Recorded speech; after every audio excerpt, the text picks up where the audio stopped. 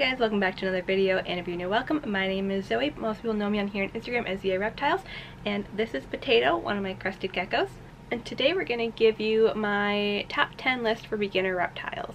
Now, I don't have like a strict opinion on what a beginner reptile is. I think pretty much any reptile could be your first reptile with enough research, preparation, and commitment so what you get as your beginner first time reptile really depends on you and how prepared you make yourself. So I don't necessarily like to say beginner reptile implying that this is like the only type of animal you can have if you've never had reptiles before. I don't think that's true. Some people are very good at researching and preparing themselves for an animal and so there isn't really beginner like you have to have these type of animals starting out kind of thing in my opinion. But for the sake of the topic I'm going to name my top 10 beginner reptiles. And when I say beginner it's more so in the sense that these reptiles are a little bit more low maintenance. So if you're just working your way into owning reptiles and you want to start off kind of easy and not jump way in going nuts these would be a good fit for you so more specifically, these are reptiles that don't require UVB and, and they have pretty easy diets. So in my opinion, UVB, so in my opinion, UVB is probably the most complicated part of keeping reptiles. And then of course there's those that have complicated diets needing veggies and bugs or some sort of meat. So this list is those that don't require UVB and have a pretty easy diet. before I jump in, I do want to say I do believe all reptiles benefit from having UVB. I'm in the process of giving all of my animals UVB and some of the animals that I'm going to mention on this list do have UVB or plans to have UVB. So as such as they don't require it, they do benefit from it. So these are animals that you could certainly start off without UVB without a problem and the more you grow and advance and you're ready to move forward, you could then later give them UVB. So it's these are animals that it's not crucial to give it to them, but keep in mind all animals do benefit from having UVB exposure. So 9 out of 10 animals on this list I do personally own. There are others I could have put on this list probably, but I don't have experience with them. So I wanted to make this list from my own personal experience so I could really speak on that and understand what I'm talking about. So number one on the list is obviously crested geckos. Crested geckos, pretty easy. You can tell Potato handles very well. I also have Pip, my other crested gecko, but I don't handle her as much anymore now that I have Potato because she does have a tail and I want to keep it that way. Though she does tolerate handling very well, I'm very paranoid about her tail. So the reason I got Potato was he's my education gecko. So any education programs, I'm using Potato because he doesn't have a tail. So the stress and paranoia about that is gone with Potato. So keep in mind they can drop their tail. So that part is a little stressful sometimes, but sometimes you find geckos already like Potato that don't have their tail and there's no stress then. So crested gecko enclosures are fun to set up. They are going to need a taller enclosure because they are arboreal, spending a lot of time up high. Um, in Potato's case, he loves to hide in his plants. Pip hides in a cork bark tube on the wall. They're also one of the easiest reptiles to feed because they can eat powdered food. So Pangea, Repashy, um, trying to think who else has powdered food mixes for crested geckos. But basically, it's powder you mix with water. It's like ketchup consistency and that's what they eat.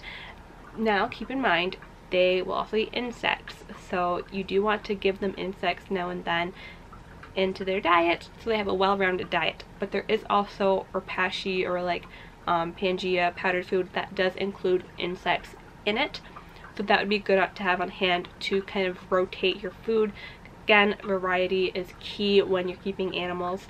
So being able to switch up the flavors they're getting and working in one with insects would be good, but very easy to feed.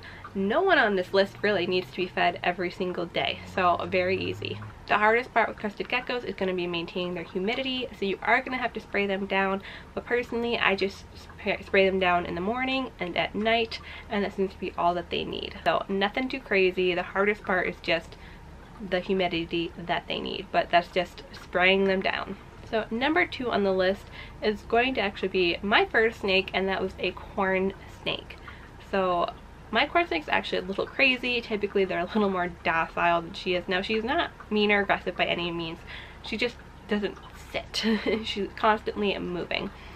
Now the corn snake I worked with at the zoo when I worked there was like a quarter of her size or a third of her size and very calm.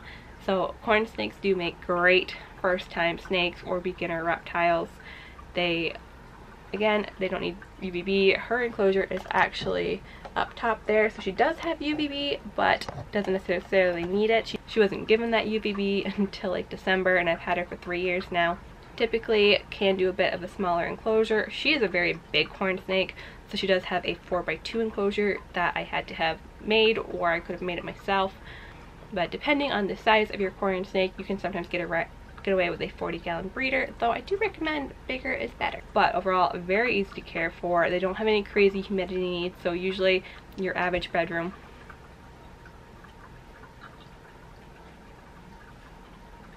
has the humidity that they need. They only need to get fed as an adult really every other week, every two weeks. Um, Phoenix gets fed like every other week or every three weeks. And in general, very good temperament. I don't think I've ever seen a mean corn snake. So very good. We're back to geckos and that is a leopard gecko. You guys probably knew that would be on the list. That seems to be a very common beginner reptile. That was the first reptile I ever had. We still have him, Zephyr, my family gecko. But I also have Queso, my personal gecko. Now they are insectivores, so you are going to need to have live bugs on hand. However, if you go with dubia roaches, which are a very good nutritious staple, they're very easy to breed. So you could essentially just buy a bunch of adults and then just have food going, so running itself with no extra cost to you. So you can save quite a bit of money that way. They also don't have super high temperature needs, they don't have high humidity needs. You can, now don't hold me to this, but you can use a heat mat to give them heat. A lot of people use heat mats or heat tapes please get a thermostat if you're going that route. I personally prefer overhead heating for my animals because it's more natural, though Queso and Zephyr both do have heat mats right now. Um, Zephyr actually also has overhead heating though. Queso, her setup she's in right now doesn't allow me to do overhead heating, but when she gets her next upgrade, I will be doing halogen bulbs. She will have overhead heating, just like some of my other animals that we're going to mention later in the video. But starting off, you can give them heat using a heat mat as long as you use a thermostat. It's very easy, but overhead heating is also a very great option as well. Sand boas. If I had to recommend a beginner snake, like hands down beginner, first time, just trying to get comfortable with snakes, I would absolutely say a sand boa. They're overall very docile. I know there are, just like any species, there's going to be those few exceptions, but in general, sand boas tend to be very docile. I mean, even if they're not, they're very small and their mouths are very small. So, but going off of that point, they are a small species of snake. So they're not going to get humongous. You're not going to need this humongous setup for them. Their food is going to be relatively small, which means it's going to be more inexpensive compared to what an adult milk snake might eat or a big boa. And just like the leopard gecko, not nothing crazy for humidity. They do come from Africa and more dry areas, so you're not going to need to go crazy trying to maintain humidity. They're easy to handle. They have these derpy cute faces, and you can heat them using overhead heating or a heating mat. Back to geckos again, we're just going to flip-flop gargoyle geckos. So gargoyle geckos are very similar to crested geckos. Just crested geckos I feel like are a little more popular. A lot more people have them. You see them in pet stores. Gargoyle geckos, one and the same just different. so what I mentioned for crested geckos already, just take all that information, apply it to gargoyle geckos. So our boreal enclosure, powdered food, you name it. Now I will say for gargoyles though, you're going to want to find one that has been readily handled, that has a good temperament, because their bites are no joke. Not that I've experienced it, but so I heard. I never really thought about it. In my head, they were just another version of like a crested gecko. And then when I got mine, Tula, um, I had some people ask me how her temperament was because they heard their bites were nasty. I had never even heard that. So then I started researching and sure enough, their bites were comparable to a leachie, who is the biggest gecko species. And some people mentioned tokay geckos, but a lot of people that had been bitten by tokays said that they weren't quite on the level a tokay, but challenging level of a tokay. So I wouldn't want to get bit by Tula at all. but luckily she has a very good personality. So if you can find one with a great personality, great temperament that is handled readily, either being rehomed or by the breeder, then I would definitely say gargoyle geckos. Tula is super sweet and she's no harder than Potato and Pip. Very easy and very unique. So they're going to be a little more pricey than crested geckos typically, but very pretty. Very similar to milk, or very similar to corn snake is going to be milk snakes. So my milk snake, I will say, is a little more crazy than my um, corn snake. So a little more of a handful, but care-wise, very easy. Pretty much the same as my corn snake. Nothing crazy for humidity, nothing crazy for the heat. You can use a heat mat, you can use overhead heating. UVB is not required, just like everything on this list. Relatively small species of snake, nothing crazy. They're not going to get super huge. They're not going to be tiny like a sand boa, but they're like an average size snake. Very, very good. I have done a comparison video between milk snakes and corn snakes. If you want to check that out, I will link it below. I've done a couple comparison videos, actually. And I have a comparison video planned between gecko species. I just haven't done it yet, but that video will come eventually. Moving on, next on the list is fat-tailed geckos.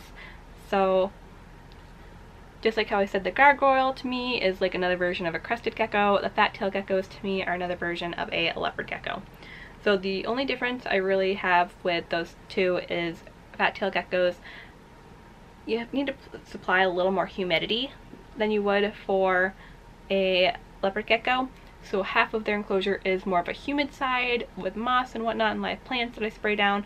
The other side's a little drier, a little warmer, but nothing crazy that a beginner can't achieve with a spray bottle. Now they're to have a diet like a leopard gecko, so you're to need live insects.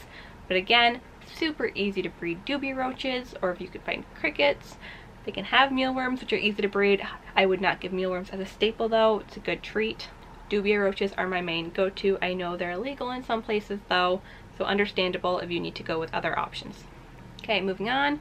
Some other king snakes. They're very similar to milk snakes milk snakes and king snakes. Are they even different? So other king snake species are pretty much the same as milk snakes and corn snakes. So if you want a snake, king snakes would be another option. I'm gonna wait for that mister to be done. Okay, this next one I almost didn't put on here. I kind of thought about it, but just based off my own personal experience, I had no problem putting it on this list, and that is ball pythons. So you hear ball pythons are good beginner reptiles, but you also hear they're not because of their tendency to go off of food. Now, Snicket, my banana ball python, who I've had since a baby, he's fantastic, never missed a meal, super sweet. I would highly recommend them for beginners off of Snicket. Kalua is my adult ball python. I got him as an adult about two years ago? No, a little over a year ago. So I haven't had Kalua too long. But when I got Kalua, he was on a food strike. He was not a consistent eater. However, what I did for him was just not beat him. I let him tell me when he was ready. We were also going into winter, and I find snakes do go off feed sometimes in winter. They just, they know what's going on outside. And I live in New York. So I just let him let me know when he was hungry. So eventually I saw him moving around his enclosure a lot, exploring hunting if you will. So that's when I started leaving a rat in his enclosure and it just disappeared. So eventually he did come out of it on his own. Sometimes in drastic measures you will have to force feed. However, I have very rarely seen people that have that it comes to that. So I'm putting ball pythons on this list based on my own personal experience. If you have a ball python that is refusing food, don't freak out. Let them do their thing track their weight to make sure they're not rapidly losing weight because that could be a sign that something is wrong and that they need to see a vet. But they just miss a couple meals, it's really no big deal. There's no reason to panic. So now, Kalu is a great eater. He doesn't miss a meal either and he tongue feeds. Before he wouldn't tongue feed, I had to leave it in there and hope that disappeared overnight. Now he tongue feeds no problem. So sometimes it's just patience letting the animal figure it out. So again, nothing crazy with them. They're great for handling. They move super slow. They're typically very calm. So for a milk snake and a corn snake are just going to be zip, zip, zip. They're fun to handle, but not fun to just sit with. A ball python is going to be more fun to just sit with because they're much slower moving. They're a little girthier and thicker. So sometimes they're a little easier to handle because there's more snake there to hold on to. You can heat them using a heating pad or overhead heating. So just overall, their care is very, very simple for a snake. Alright, and the last one on this list, number 10, it's actually one I don't own, but one I want. So I've done the research for them, and I needed 10 animals for this list. So I put them on. And that is Chinese cave geckos. I wanted something a little more unique that I could put on this list It's not just the same animals you always hear on these lists. So Chinese cave geckos, they're another terrestrial gecko like leopard geckos and fat-tailed geckos. They're not going to need UVB. They're about the same size as those geckos. So very, very similar. So another good one to add to this list. So those are my top 10 beginner, easy for beginners getting into the hobby animals. So they're not going to require a whole lot of extra work or a lot of attention from you. They're not going to need a ton of daily maintenance other than making sure they have clean water and maybe spraying down if you're getting something like a crested gecko. They don't need UVB, although they will benefit from it. They don't need UVB. So they're very good for starting out because you don't have to try to understand UVB and all the complicated parts of it. So if you want to just start off easy, then this is the list of animals that I would recommend to you. Alright, so thank you guys as always for watching this video. Don't forget to hit that subscribe button if you don't want to miss out on more. And we'll see you for the next video. Bye!